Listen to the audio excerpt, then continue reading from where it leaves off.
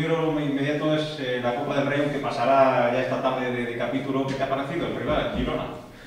Bueno, pues un rival de segunda división A medio alto, que hace poco estaba en primera división, un entrenador como Michel. Eh, un equipo bueno, pues que creo que, puede ser un, buen partido aquí en el Cerrú para que la gente disfrute de, un equipo profesional. Y como bien te digo, eh, un equipo que hace muy poco tiempo estaba en primera división, con lo cual yo creo que, bueno, a ver, nos hubiera gustado a lo mejor, aunque del mismo superior nivel, ¿vale?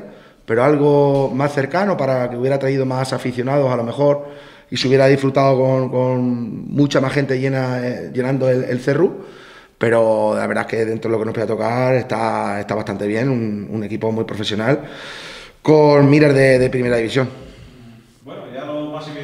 Menor. ¿Cómo os presentáis a este partido? Imagino que crecido después de la última victoria. Sí, a ver, claro, a ver, no lo mismo trabajar sobre victoria que sobre derrota, ¿no? Y eh, de la manera que fue. Entonces, bueno, la gente está trabajando igual, pero sí que es verdad pues, que eh, esa confianza que te da ganar tres puntos de la manera que fue, eh, la gente bueno, pues está más, como más alegre, ¿no? como más suelta, más suelta.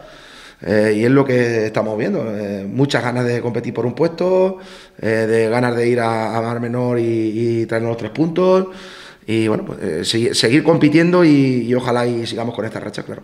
Confiado lógicamente en lo que decía, la inercia ¿verdad? del equipo para obtener algo positivo en esta salida. Sí, claro, a ver, el campo no es eh, un campo donde podamos jugar como a nosotros nos gusta. Seguramente, como a ellos tampoco les también les gusta jugar de otra manera y no pueden hacerlo.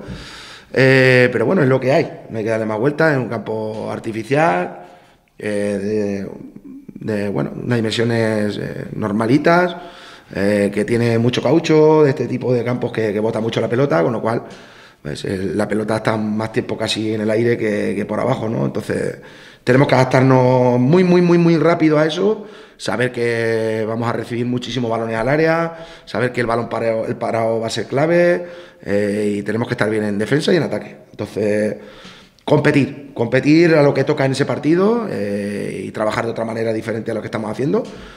Eh, tampoco podemos variar todo de, de, la noche al día, ¿no? Pero, pero sí que hay matices claros que, hay que trabajar eh, en ese estadio.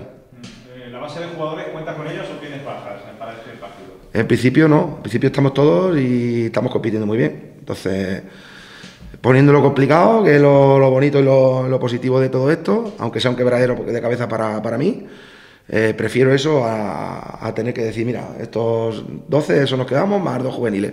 Prefiero eso. Y la verdad es que los chavales, bueno, una rivalidad sanísima, con ya te digo, con muchas ganas de competir el puesto con el otro. Eh, así que era muy bien, eh, están entrenando fenomenal los chavales. ¿Ese escenario del que hablabas te va a obligar a hacer cambios con respecto al 11 que vimos el pasado domingo? Bueno, no sé si en el 11, pero sí a lo mejor la forma de jugar, ¿no? Más que en el 11, en, la forma de juego. Eh, hay, que, hay claves que no, que no se pueden trabajar allí eh, y hay claves que se tienen que trabajar que aquí no trabajamos tanto. Y luego, por lo que te digo, el balón parado es fundamental, con lo cual, bueno, más que de nombre, eh, te diría que la forma de juego seguro que la vamos a cambiar. ¿Qué hace especial hincapié técnico en el bar menor? ¿Qué detalles hay que tener en cuenta? Pues eh, detalle clarísimo que tiene gente como Ubis, eh, gente como Silvente, gente como Peque, jugadores de un nivel muy muy alto, Molinero, que hace cuatro días estaba en primera división. Tienen un equipo, mm, digamos, mezcla veteranía-juventud, más bien veterano, eh, con un goleador como Ubi, que ya digo que el año pasado estuvo en, Algeciras, fue el Pichichi también de ese equipo, ascendió. Lleva seis goles, entonces hay que tener especialmente cuidado a esa gente de arriba, especialmente cuidado a la gente de abajo que no lleve el balón de, la manera que lo lleve tan, tan, tan sencillo. Luego está Morros por, por el lateral izquierdo, que es un viejo conocido de aquí de Socollamo, que tiene una pierna izquierda muy, muy buena. Entonces, bueno. Es un equipo muy completo, es un equipo que sabe jugar a, muchas cosas. Ya digo, eh, ellos seguro que no están contentos con, el campo para, ofrecer su, mejor versión. De hecho, fuera les he visto de jugar de otra manera distinta. Pero ¿qué es lo que hay? Es ese campo y clave es estar concentrado siempre. Concentrado siempre. Eh, cuando tienes el balón tienes que estar concentrado porque como la pierdas, tienes problemas y cuando no lo tienes, pues tienes que estar concentrado pues porque llegan con mucha gente al ataque, hay muchas faltas, eh, mucho balón al área. Mm, hay que estar especialmente concentrado en esas situaciones. Justo hablando de ese equipo, tiene una de las bajas más importantes que es el portero que, que haya expulsado contra el Intercity. Ya, bueno, eh, una baja importante. Tampoco conocemos mucho a Rodri, que jugó el otro día después de la expulsión. Eh, el año pasado jugó en, en Lucas Murcia, eh, jugó la mitad de los partidos titular, con lo cual, a pesar de ser sub-23, tiene experiencia, digamos, en categoría nacional. No creo que sea tan, tan determinante esa baja como podría ser, por ejemplo, la de Ubis, como te acabo de decir. Pero sí que es cierto que, bueno, oye, eh, mejor para nosotros cuanto, cuanto menos jugadores tengan disponibles, claro.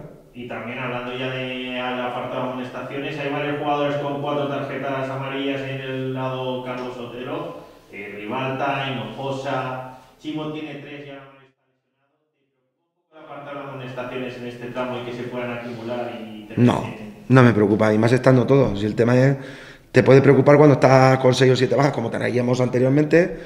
Si tienes dos con quinta amarilla, pff, tenemos una avería grande. Pero estando todo, la verdad es que no me preocupa. Si sale uno, entra otro.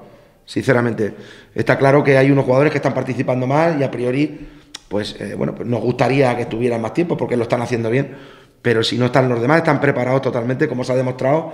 Por ejemplo, en el caso de Javi, eh, van a tener que jugar titular, el chaval lo ha hecho y lo ha hecho a un nivel muy alto. Eh, caso de Osama, Diego, cualquiera de ellos, eh, incluso Espinar, que está esperando eh, su momento, está trabajando fenomenal. Y bueno, también es cierto que la forma de juego que nosotros tenemos, pues Ribata cobra mayor protagonismo, por así decirlo, ¿no? Pero yo creo que están todos preparados para, participar y no me preocupa, la verdad. Vale. gracias.